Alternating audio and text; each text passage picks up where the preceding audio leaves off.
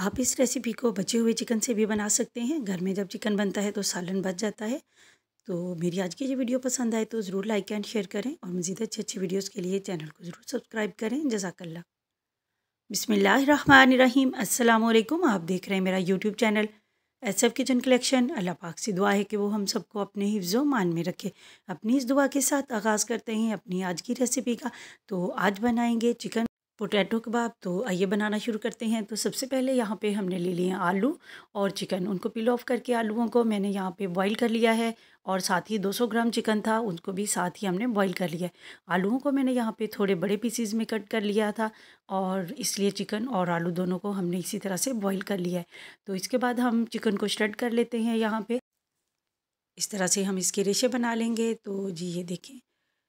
जितना भी गोश्त है उसके रेशे अच्छे से बना लेंगे और आलूओं को हमने यहाँ पे मोटे पीसीस में इसलिए कट किया है कि अगर आप चाहें तो इनको आप कशर की मदद से भी कश कर सकते हैं, अगर नहीं तो इस तरह से पोटैटो मैशर की मदद से आप इसको अच्छे से मैश कर सकते हैं यहाँ पे। तो इन दोनों चीज़ों को हमने अच्छे से मैश कर लिया है, बस गुटली कोई भी इसमें नहीं रहनी चाहिए। इसके बाद एक मीडियम साइज़ का प्याज चॉप करके यहाँ पर शामिल करेंगे। चाहें तो प्याज का हाथ से दबा के हल्का सा पानी निकाल दें। लाल मिर्च सॉरी सब्ज़ मिर्चें अपने टेस्ट के हिसाब से आप शामिल कर सकते हैं और सब्ज़ धनिया यहाँ पे शामिल कर दिया है हमने, अच्छे से टेस्ट के लिए। आप चाहें तो पुदीने की चंद पत्तियाँ अगर हों तो वो भी यहाँ पे शामिल कर सकते हैं। पुदीना और धनिया जब हम किसी कबाब वगैरह में डालते हैं तो टेस्ट जो है वो बहुत ही अच्छा आ जाता है।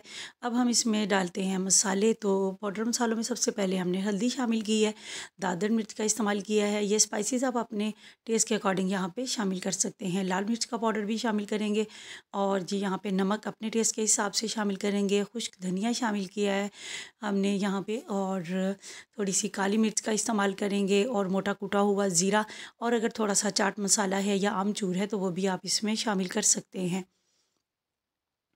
और अच्छे से टेस्ट के लिए अगर चाहें तो आप इसमें कसूरी मेथी भी शामिल कर सकते हैं। ये आपके टेस्ट पर डिपेंड करता है। तो जी, यहाँ पे मसाले हमने शामिल कर दिए हैं। और अभी जो हमने चीज़ शामिल की है यहाँ पे, ये हमने ब्रेड क्रम्स शामिल किए हैं। और ब्रेड क्रम्स तकरीबन हमने यहाँ पे हाफ़ प्याली इसमें शामिल किए हैं और अब इनको अच्छे से मिक्स कर लेंगे। तो मसाले जो हैं, जब हम हाथ से मिक्स करते हैं तो जलन वगैरह होना शुरू हो जाती है। तो ग्लव्स का इस्तेमाल करें आप लोग। तो मसाला हमने अच्छे से मिक्स कर लिया है, यानी चिकन और आलू के साथ अच्छे से मसालों को हमने यहाँ पे यकजंग कर लिया है और इसके बाद बारी आती है इसको शेप देने की। तो मैं इस तरह से शेप दे रही हूँ। इस तरह से शेप देने से ये है कि एक ही साइज़ की सारी बनेगी, कोई बड़ी, छोटी या मोटी पतली नहीं बनेगी। तो वैसे आप अपने हाथ से भी इसको बना सकते हैं। तो हाथ को थोड़ा सा ग्रीस कर लें और थोड़ा सा लेके टू टेबल स्पून के करीब या जिस साइज़ की भी आप बनाना चाहते हैं टिक्कियाँ तो उस हिसाब से आप लेके इस मिक्सचर को तो टिकिया बनाते जाएँ। आप इसको लंबाई के रुख भी बना सकते हैं और इस तरह से भी बना सकते हैं। जिस तरह की शेप आपको पसंद हो, उसी तरह से आप बना सकते हैं। स्क्वायर भी बना सकते हैं।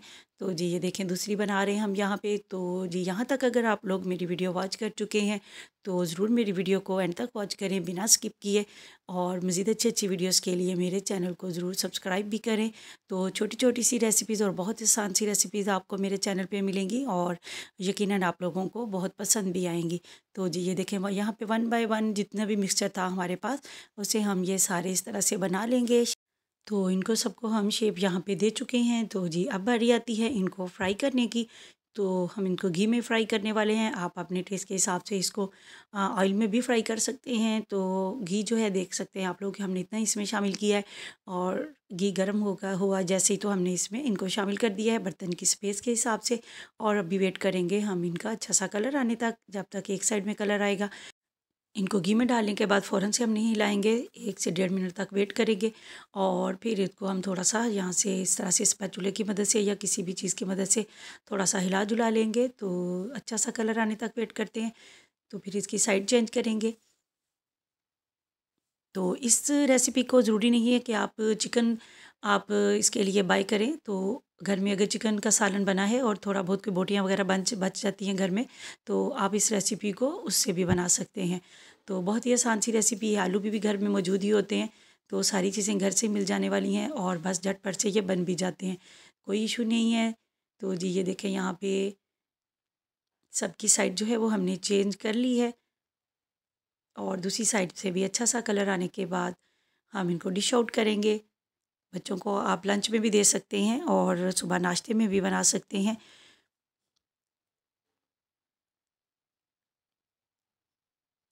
तो जी देखिए, यहाँ पे कलर जो है मेरा ख्याल है दूसरी साइड में भी अच्छा सा आ चुका है तो अब हम इनको निकाल लेते हैं।